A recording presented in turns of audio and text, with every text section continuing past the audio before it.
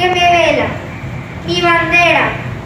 Ella es la página viva que los héroes escribieron con su vida. El ejemplo iluminado, el testimonio glorioso del pasado. En 1940, el presidente Lázaro Cárdenas oficializó el 24 de febrero como Día de la Bandera. Los colores de la bandera tienen los siguientes significados. El verde simboliza la esperanza del pueblo en el destino de su casa.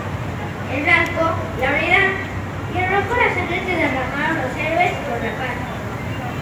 El escudo de la bandera nacional se basa en la leyenda que narra cuando Huitzilopochtli profetizó a los aztecas durante su migración desde Aztlán, que debía buscar en un lago una águila posada sobre un nopal con una serpiente entre sus garras.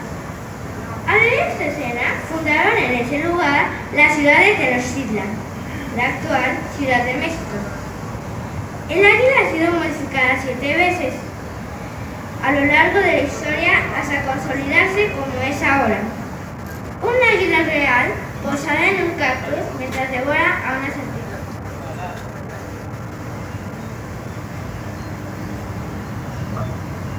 Historia de la bandera nacional mexicana.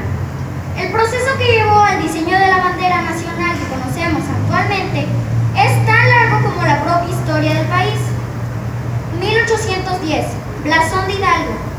Fue el estandarte con la imagen de la Virgen de Guadalupe que empuñó el cura Miguel Hidalgo durante el Grito de Dolores. 1821, bandera del ejército trigarante. Simbolizó el pacto entre realistas e insurgentes que culminó con la independencia de México. Su significado fue religión, independencia y unión. 1821. Bandera del primer imperio. El gobierno de Agustín de Iturbide adopta la bandera tricolor del primer gobierno mexicano. 1846. Bandera republicana. Bandera utilizada por los periodos republicanos de México, tanto por federales como por centralistas. 1863. Bandera imperial. Es la que hundió durante el imperio de Maximiliano I de México en los territorios que estaban en su poder. 1880. Bandera porfirista.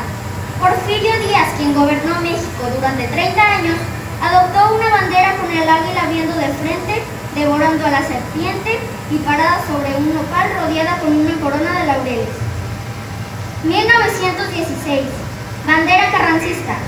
Con la que se pretendía marcar el fin del régimen porfirista, se colocó un águila de perfil con lo que se hacía alusión a la República. 1934. Bandera institucional. El escudo nacional se modifica ligeramente tras el establecimiento de la primera legislación de los símbolos patrios. Bandera actual.